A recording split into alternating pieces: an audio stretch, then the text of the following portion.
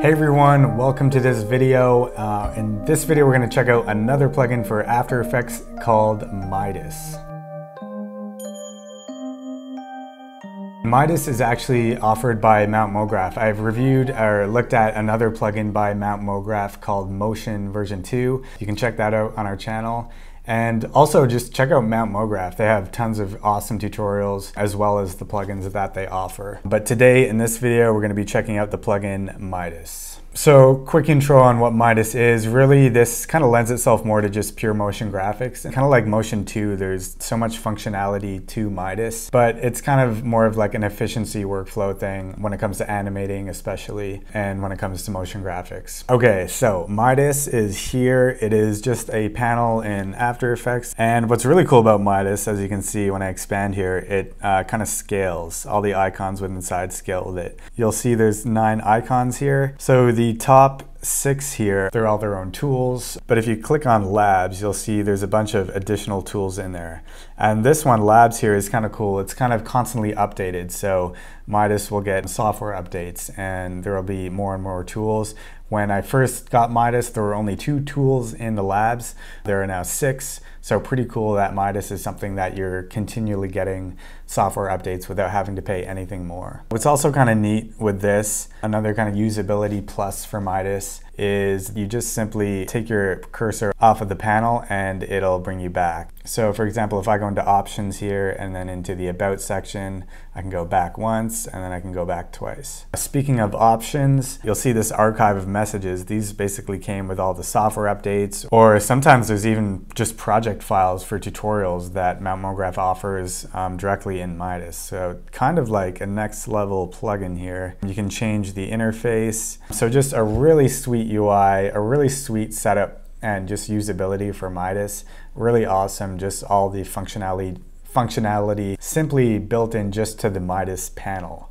Okay, so let's check out what Midas can actually do. The meat and potatoes of Midas, as you might guess, is the first tool here called Midas. Okay, so you'll see I have a cube here. We can animate just its position if we want. Go ahead 20 frames animate it and we could just add some easing to that. All right, so we now have this cube going left to right.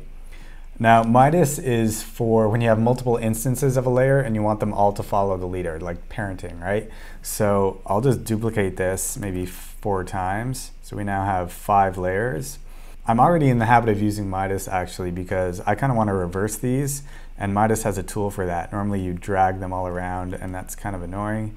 But if you just select them all, go into your labs and hit reverse, now they're in the opposite order. Very handy. So this is the process of using the Midas tool in the Midas plugin. You can do it on any property, but you select a property of one layer, then select the rest of your layers, and then hit Midas. And we don't need to worry about any of the options down here. And now you'll see that all the other layer, all the other squares are following this first layer. So pretty cool. And you'll see I got some controls up here. You can set the delay. So right now it looks like this. If I put the delay to like 100 and play that back, we're gonna have to stretch this out a bit. You'll see that they all go take a bit longer. The delay between it, each layer moving is longer. And you can also set additional settings. So you have drag and scatter here. So drag, if I enable this, allows you to kind of enable, you'll see there's a seed here. Whenever you see seed in After Effects, that's kind of like a randomization tool. So if I enable drag, that's going to offset or randomize the temporal values. So temporal meaning the timing of, of when layers move. You can set any parameters to that. So I could put like minus 30 and 30 here. And now it's going to offset the timing of the layers to go, you know, a factor of 30 too early and a factor of 30 too late. It'll be easier to see maybe if I put this down to like 20 again. So you can see that it's kind of randomized. Some of them are going too soon and some of them, like this very first one, has quite a delay and then all these three go really quick. There's also scatter, which has a similar effect, but it's not for timing, it's for spatial interpolation. So Scatter is, you'll see here, if I enable scatter, I'll just turn off the drag for now. I can scatter the positions of Y, so I can drag it down and also drag it up. So we have uh, two parameters there and I could do left and right as well. So some of them are going to actually finish in front of and behind. So pretty cool. I think you can already see some cool effects happening here and you can kind of see how Midas is just crazy powerful, really handy to have these tools. Additionally, you'll see uh, the advanced section here with dynamics. Dynamics enabling this is basically adding a wiggle to whatever property you applied it to. So in this case, it's gonna add a wiggle effect to position. First, I'm going to um, toggle off scatter. So we're back to normal here. If I turn on dynamics, it's just going to continually kind of wiggle in its, its own default settings. You can adjust the frequency and the amount. So I could put this, you know, up to 10. It's going to shake really fast.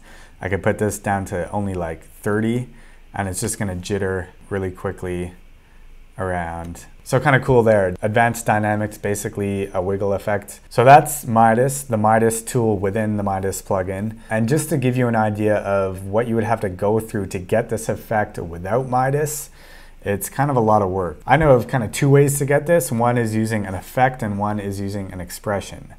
So you'll see here, I have a null object and all these layers are following the top layer, similar to Midas but using expressions. So you'll see I have delay expression in position, and you can get a similar effect like that, but it becomes very difficult to customize it and change the parameters. Uh, Midas makes that a lot easier. And this is just not as functional. There's not as much control here. And you have to deal with expressions. And uh, who likes dealing with expressions, right? And then there's also the echo effect, which you can find in your effects and presets.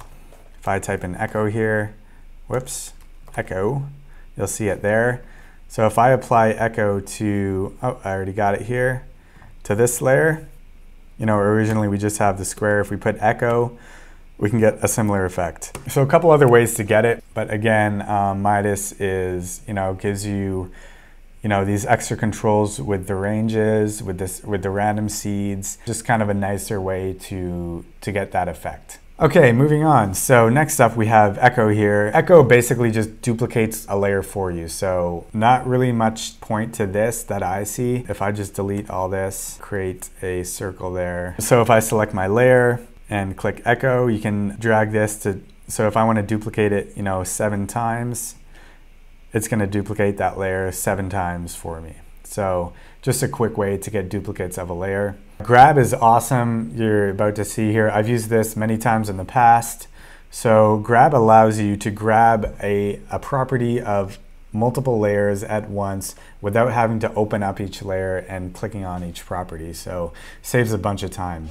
If I go into say my first layer here and I select size, and I want to select size of all the layers because I want to affect that property in all my layers at once rather than having to you know, select size uh, for all my layers and shift click, I can just do it on the first layer, then grab all the other layers and hit grab.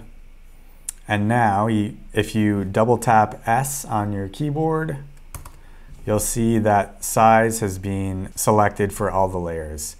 So that's awesome. Okay, cloth. Cloth is kind of more of a very specific tool dealing specifically with puppet pins. So if I add, you know, four pins here, select my layer and hit cloth, uh, we'll just call the system cloth. If I put on dynamics here and play this, you'll see that cloth basically takes control of your puppet pins and allows you to control them using the Midas tools. So puppet pins aren't the easiest things to access sometimes and control. They can get a bit wonky.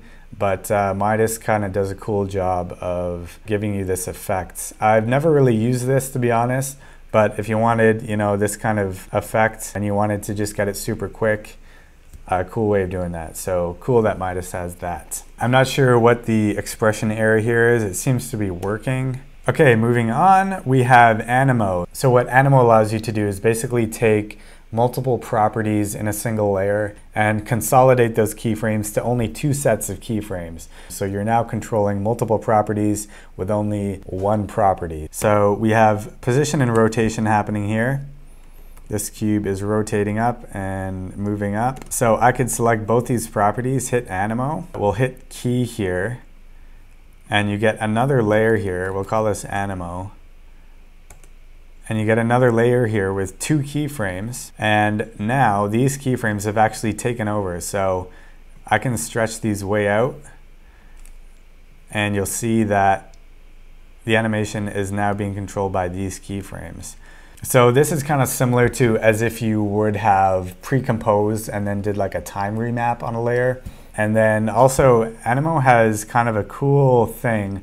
This is again something I've never used and kind of have a hard time seeing what this would be useful for. But it's also so out of the ordinary that if you did use this in one of your projects, people might be like, how did you do that? um, it's kind of cool. So it's when you get into the Spectre uh, property here of Animo. So the first thing we need to do here is create another layer. So I'll just create a circle here and center up that anchor point and we'll just put it here. I'm just going to call this trigger. So if I go into my Animo layer, I enable Spectre and I set my trigger layer to the layer called trigger. Don't have to call it trigger, but so we have two new layers here. We have the null and we have our layer that we created ourselves. As we move this layer into the area of the null, you'll see that it actually triggers our animation to happen. I'm going to actually put this layer behind our yellow square.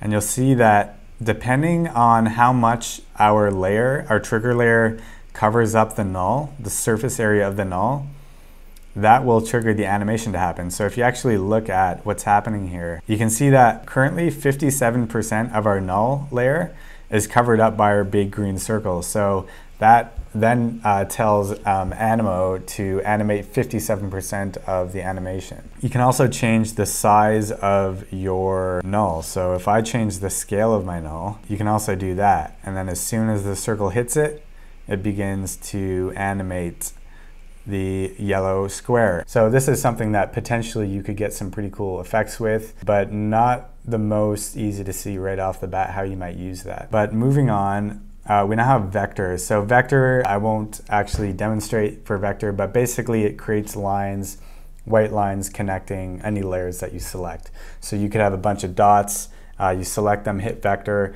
and they're all going to be connected by lines that will stay connected as you animate.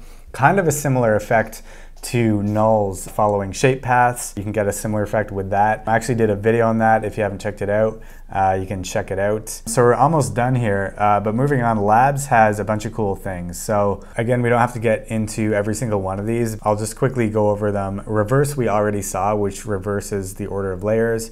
Break will break apart a text layer and actually create a bunch of individual layers for each letter of the text. So really uh, useful, useful thing there. Trace is an interesting thing. It's almost like a particle generator effect. An interesting particle generator there. Never used it. Dynamic basically takes that effect that we saw in Midas. If you recall that when I applied Midas, you got this advanced dynamics, which allowed you to have like a wiggle to the layer. That's what dynamic here is. It's basically adding just that dynamics property without the whole Midas um, tool being applied. Kind of going all over the place here, but parent basically just parents layers to other layers. So you can select a group of layers, hit parent, and they all get parented to the one either directly below or directly above depending on how you want to do it. As you can see here, you can parent up or parent down. And then lastly, we have trim.